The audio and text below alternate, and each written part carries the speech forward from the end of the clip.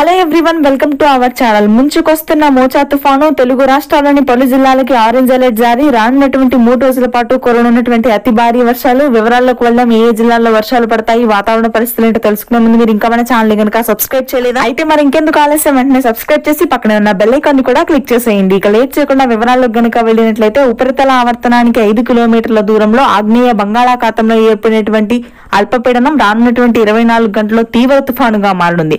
దీనికి మోచ తుఫానుగా పేరును ప్రకటించింది వాతావరణ కేంద్రం. ఇప్పటికే ఈ తుఫాను ప్రభావంతో తమిళనాడు కోస్తా తీర ప్రాంతాల్లో భారీ నుంచి అతి భారీ వర్షాలు నమోదవుతున్నాయి. ఈ రోజు రాత్రి లేదా రేపు తెల్లవారుజాము నుంచి రాయలసీమలో మోస్తరు వర్షాలు కురుస్తాయని వాతావరణ కేంద్రం వెల్లడించింది. ఈ వర్షాలు క్రమక్రమంగా పెరుగుతాయి. ముఖ్యంగా కర్నూలు అనంతపురం చిత్తూరు ప్రాంతాల్లో భారీ వర్షాలు కురిస్తే కడపలో మాత్రం మోస్తరు వర్షాలు ఉంటాయి. మదనపల్లి పీలేరు పలమనేరు నంద్యాల కదిరి బద్వేల్ రాయచోటి మైదుగూరు పులివెందుల వేంపల్లి కడప కర్నూలు సిటీ కూడా భారీ నుంచి అతి భారీ వర్షాలు నమోదవనున్నాయి.